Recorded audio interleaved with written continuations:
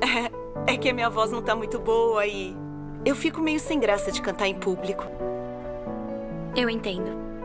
Antes eu também não conseguia cantar. Você era muito tímida? Não, eu achava que, se cantasse, iria perder a conexão tão especial que eu tinha com a minha irmã.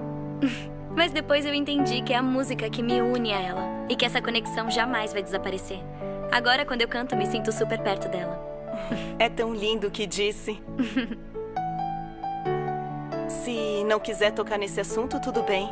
Não, não é isso. É que eu fiquei pensando no que aconteceu no dia do lançamento do disco. Ah, é, tá certo. Eu vi tudo por streaming. Sinto muito pelo que aconteceu. É, eu queria fazer uma homenagem pra minha irmã e a banda dela, mas deu tudo errado. Eu entendo o que você quer dizer. E também sei como se sente neste momento. Mas nem tudo deu errado. Conseguiram gravar o disco da banda. Você cantou com as suas amigas e com Manuel. Isso é a única coisa que importa. A música.